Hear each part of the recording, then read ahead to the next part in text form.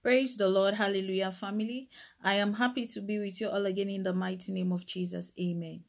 If this is your very first time of seeing me, you are very much welcome to Prophetic Hour of Upliftment with Esther Mega.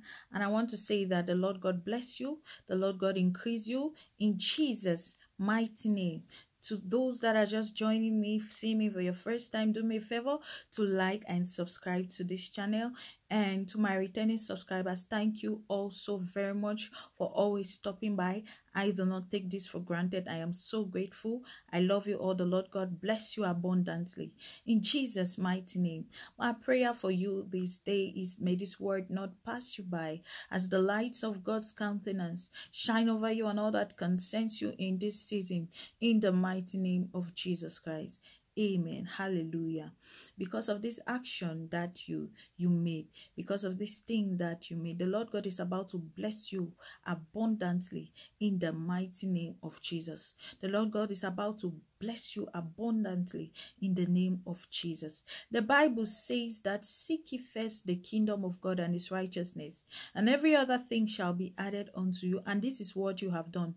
And you have not only done it at the level of okay you always ensure that you meet up with activities you meet up with prayers you meet up with fastings and all that no. You have extended it to the you have extended it to to the public by helping those that have been less privileged. And because of this thing that you have done the lord god is about to transform your life for good. You are about to become very very rich because god has seen your heart. He has seen the sincerity of your heart. He has seen the kind of love that you have in your heart in the name of Jesus. And love is something that the Lord God can easily connect with when He has to do with us. This kind of genuine love, this kind of selfless love that you have shown to these people. That is the work of God that you have done. You have not only sat and prayed, you have not only studied the Word of God, but you have extended, you have given an extended help. You have extended help to those that are in need in the public. Hallelujah. Those that are underprivileged.